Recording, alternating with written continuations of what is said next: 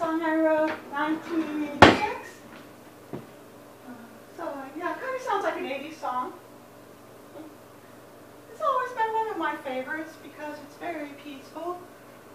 And I used to sing this song to put my girlfriend Larry Wisniewski to sleep. So I think it's even like 1970. Here we go. Will Oak Be Today.